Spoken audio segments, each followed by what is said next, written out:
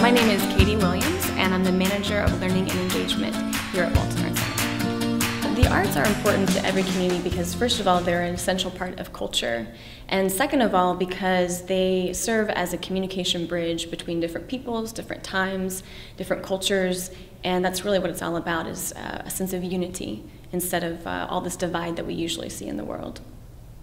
Uh, it's so important for students because, uh, as most people know, the arts are um, cut, the funding is cut almost every year in public schools. So essentially, the kids usually don't get to see live performance or even get inspired to, um, you know, uh, grow their creativity unless they get to come to like a field class here at the Walton Art Center or another art, you know, art institution.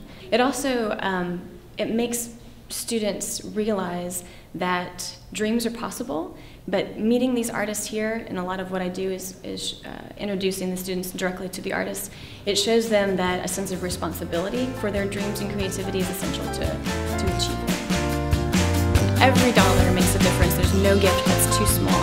And I encourage you to consider giving a gift to the Walton Art Center this season and help us build those communication bridges through art.